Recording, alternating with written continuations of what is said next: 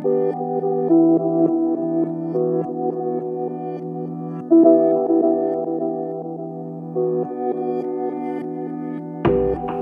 I entered the 2007 Astronaut Glove Challenge that was sponsored by NASA as a Pratt student, and it was sort of a vehicle for my thesis show at Pratt. I met Nikolai, my business partner, at that competition. We were competitors. We decided after meeting each other to join forces for the second Astronaut Glove Challenge in 2009. We started a company, Final Frontier Design, um, in 2010 with a focus not only on contracting with gloves with NASA, but also developing commercial spacesuits for the new commercial space industry.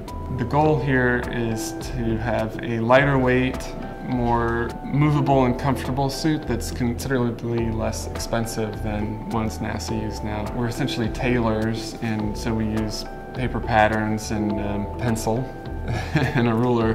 Doing things on the computer is helpful at times, and uh, with the right access to a laser cutter, it makes things like the gloves in particular much easier to make. I actually see a straight continuum from costuming and stuff I made at Pratt to um, real spacesuits now.